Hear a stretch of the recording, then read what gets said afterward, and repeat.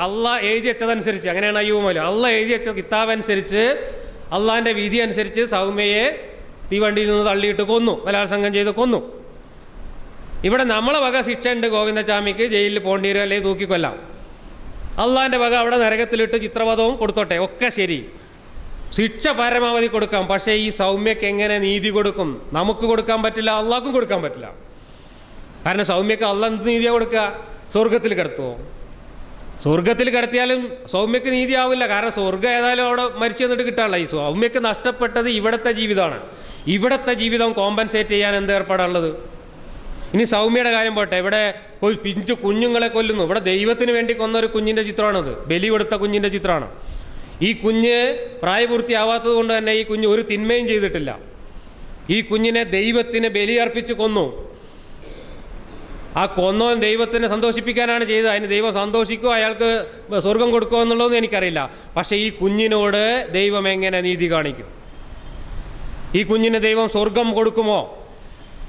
അങ്ങനെയാണെങ്കിൽ വേറൊരു ലോജിക്കലായിട്ട് വേറൊരു ചോദ്യം ഞാൻ ചോദിക്കാറ്. കൊല്ലപ്പെടുന്ന കുഞ്ഞുങ്ങൾക്ക് എങ്ങനെയാണ് നീതി ലഭിക്കുന്നത്? കൊല്ലപ്പെടുന്ന ചെറിയ കുട്ടികൾക്കൊക്കെ ദൈവം സ്വർഗം കൊടുക്കുമെങ്കിൽ കുട്ടികളെ കൊല്ലുന്നത് പുണ്യകർമ്മമാവും. അല്ലേ? ഇഹലോക ജീവിതം എന്ന് പറയുന്നത് പരലോകത്തെ സ്വർഗത്തേക്ക് പോകാനുള്ള ടിക്കറ്റിനുള്ള ഒരു ക്യൂ ആണ് എന്നാണ് മതം പഠിപ്പിക്കുന്നത്. അങ്ങനെ ക്യൂ നിന്ന് ഇടങ്ങേറാവാതെ തന്നെ ടിക്കറ്റ് കിട്ടി പോവുക എന്നുള്ളതാണ് നമ്മുടെ ലക്ഷ്യമെങ്കിൽ കൊല്ലപ്പെടുന്ന ഓരോ കുട്ടിയും സ്വർഗത്തിലേക്ക് നേരിട്ട് ടിക്കറ്റുമായിട്ട് പോകുമെങ്കിൽ ഒരു നമുക്ക് ചെയ്യാവുന്ന ഏറ്റവും വലിയ പുണ്യകർമ്മം കുട്ടികളെ മുഴുവൻ കൊല്ലുക എന്നുള്ളത്. ഇല്ല റഷ്യയിൽ ഒരു സ്കൂളിൽ കയറിയിട്ട് ചങ്ങായി പത്ത് മുന്നൂറ് കുട്ടികളെ വെടിവെച്ചു വന്നൊരു പ്രാന്തൻ. ആ പ്രാന്തനൊക്കെ എന്തായാലും സ്വർഗം കൊടുക്കണം. കാരണം പത്ത് മുന്നൂറ് കുട്ടികളെ വന്ന് നേരിട്ട് സ്വർഗത്തേക്ക് ടിക്കറ്റ് എടുത്ത് കൊടുക്കുക ചെയ്യും. ലോജിക്കലിയാണ് ഞാൻ പറയുന്നത്. ഇത് പറയാൻ പാടില്ലാത്തതാണ്. കാരണം അതൊക്കെ പറയുന്നത് ഭയങ്കര ക്രൂരതയാണ്. കുട്ടികളെ കൊല്ലുന്നത് കുട്ടിക്ക് നേരിട്ട് സ്വർഗത്തിലേക്ക് പോകാനുള്ള ടിക്കറ്റ് ആണെങ്കിൽ കുട്ടികളെ കൊല്ലുന്നത് ഒരു പുണ്യകർമ്മമാവും. അയാൾ ആ ഉദ്ദേശത്തോടു കൂടിയാണ് കൊല്ലുന്നതെങ്കിൽ അയാൾക്കും സ്വർഗം കൊടുക്കേണ്ടി വരും അള്ളാഹ്. അതിലൊന്നും യാതൊരു അപ്പോൾ ആത്യന്തികമായ നീതി എന്ന് പറയുന്ന ഒരു ഒരു ചോദ്യം ഉയരുന്നേയില്ല അത് അള്ളാഹ്ക്കും കൊടുക്കാൻ കഴിയില്ല. നമുക്കും കൊടുക്കാൻ കഴിയില്ല.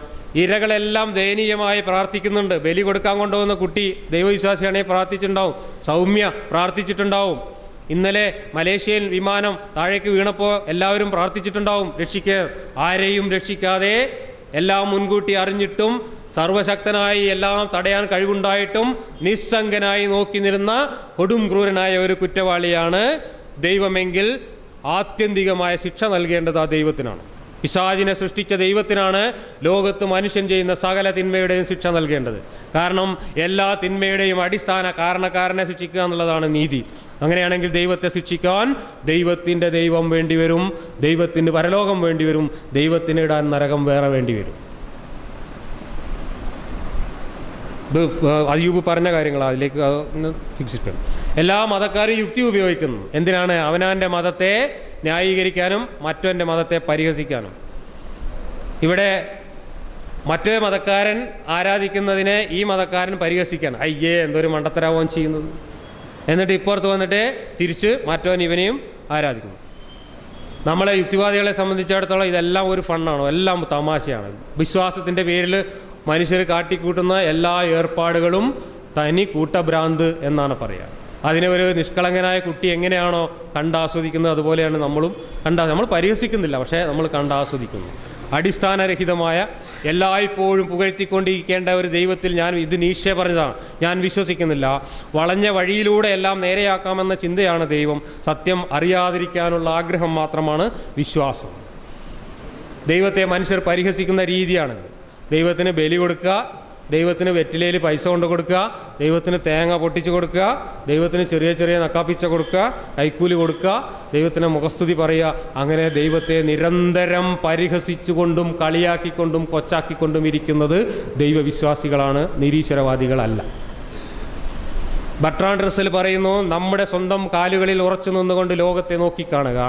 അതിന്റെ നല്ല വശങ്ങളെയും ചീത്തവശങ്ങളെയും സൗന്ദര്യത്തെയും വൈരൂപ്യത്തെയും ലോകത്തെ അതിന്റെ തനിനിറത്തിൽ കാണുക. അതിനെ ഭയപ്പെടേണ്ടതില്ല. ബുദ്ധി കൊണ്ട് ലോകത്തെ വിജയിക്കുക. അല്ലാതെ അടിമകളെ പോലെ ഭയത്തിന് കീഴടങ്ങരുത്. പ്രാകൃതകാലത്തെ ഏകാധിപത്യ ഭാവനയിൽ നിന്നും ഉണ്ടായതാണ് ദൈവമെന്ന ഭാവന. ആ ഭാവന സ്വതന്ത്ര മനുഷ്യർക്ക് യോജിച്ചതല്ല. ഇതാണ് റസലിന്റെ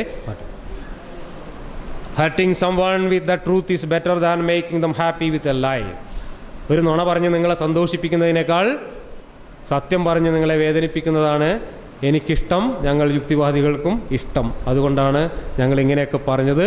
ഇത് പറയേണ്ടത് നമ്മുടെ ഇന്ത്യൻ ഭരണഘടന നമ്മളിൽ അർപ്പിച്ചിട്ടുള്ള പൗരന്റെ ധർമ്മമാണ് കടമയാണ്. നമ്മുടെ പൗരന്റെ കടമകളിൽ പറഞ്ഞിട്ടുണ്ട് ആർട്ടിക്കിൾ അമ്പത്തൊന്ന് എ എച്ച് ശാസ്ത്രാഭിരുചിയും മാനവികതയും അന്വേഷണ ത്വരയും പരിഷ്കരണബോധവും വളർത്തുക എന്നത് ഇന്ത്യയിലെ ഏതൊരു പൗരന്റെയും കടമയാണ്. ഈ ഒരു ഭരണഘടനാപരമായ ദൗത്യം നിർവഹിക്കുന്നതിന്റെ ഭാഗമായിട്ടാണ് നമ്മൾ ഈ ഇത്തരത്തിലുള്ള പരിപാടികൾ സംഘടിപ്പിക്കുന്നത്. അതിനോട് സഹകരിച്ച എല്ലാവർക്കും നന്ദി പറഞ്ഞുകൊണ്ട് ഞാൻ എന്റെ ഈ ചെറിയ അവതരണം അവസാനിപ്പിക്കുന്നു. നിങ്ങൾക്കെല്ലാവർക്കും നന്ദി. നമ്മുടെ